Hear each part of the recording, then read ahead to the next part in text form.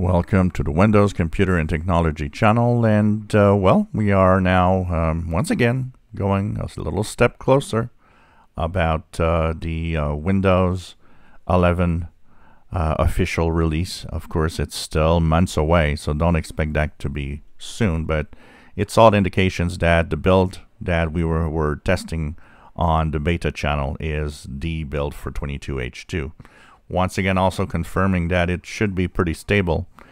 So if you are um, waiting for 22H2 this fall, once again, you know, I showed you how to do it in the beta channel.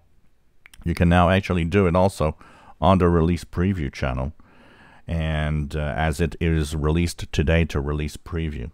So the official build for the Windows 11 22H2 is still 22621.1.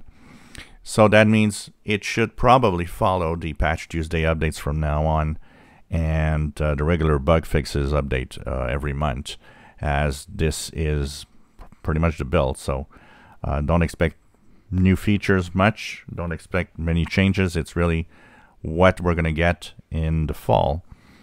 Um, now you have the option if you are uh, want to get it now once again, and because it's on a release preview, well, it kind of tells us that it's a little safer, even more safe basically than the beta channel because release preview is usually a very safe ring.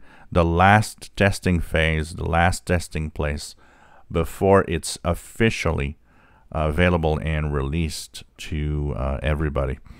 Uh, you can, of course, right click on the Start button, go into Settings, go into the uh, Windows Updates, go down to Windows Insider Program. In here, start your Insider Program, and of course, you can go and choose, rather than Beta now, you can choose Release Preview, as this is the ring. Uh, for the official build of uh, 22621.1 right now.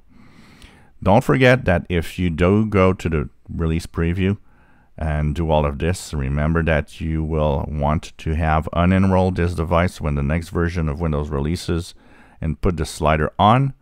This means we're going to get, you're going to get all the updates in the following weeks and months. But that also means that you will be taken off of the Insider program as soon as the official release is available. So um, if you haven't done it yet, release preview will bring you to 2261.1.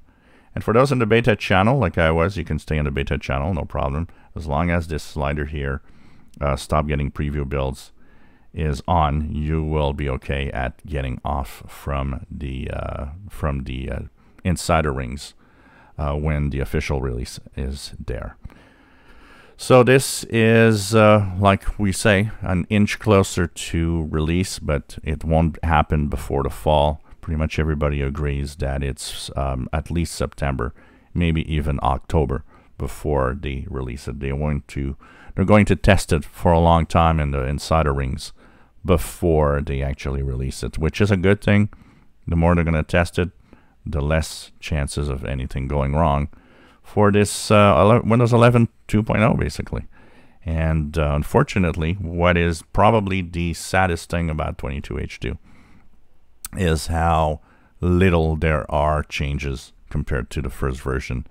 I think a lot of people that were waiting for something big to happen to Windows 11 and the changes are going to wait more because it isn't that a big of a change, like I said, unfortunately.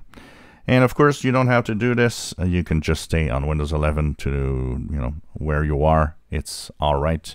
And like I said, because there's not a lot of new things in it, moving on to 22H2 before everybody else is more of an enthusiast thing than what you should do, actually.